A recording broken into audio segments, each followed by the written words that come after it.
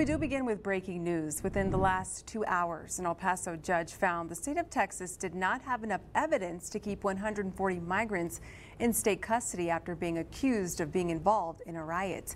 The migrants were accused of participating in a confrontation with the National Guard on April 12th. ABC 7's Heriberto Perez joins us live from the courthouse with the latest. Eddie.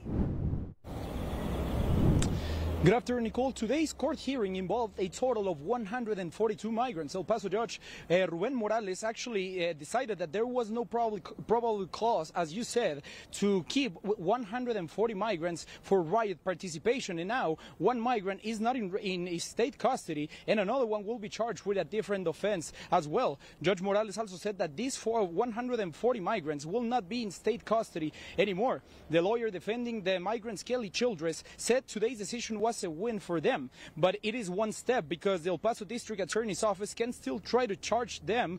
But for Childress, it means it will take a lack of integrity. All these migrants were facing riot participation charges, as I said. And Childress also mentioned that what these mass arrests mean for, his, for her office. And what we're seeing is an effort to uh, get the headline to get get it on the news that 140 more migrants, you know, and they're using these inflammatory terms like breached the border and things like that, which are just false. Uh, and, Nicole, Chief Public Defender Kelly Childress also told us what's next for these 140 migrants and where they will go now. I'll have more details coming up tonight on ABC 7 at 5.